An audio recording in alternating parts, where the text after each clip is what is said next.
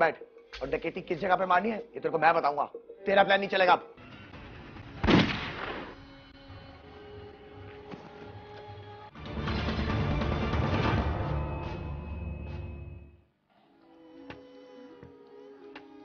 भाई, जब मैं पांचवी क्लास में था ना, जब ही स्कूल छोड़कर भाग गया था, मास्टर शाकिर बड़ा जालिम आदमी था। अबे स्टेपनी जालिम तो पूरी दुनिया होती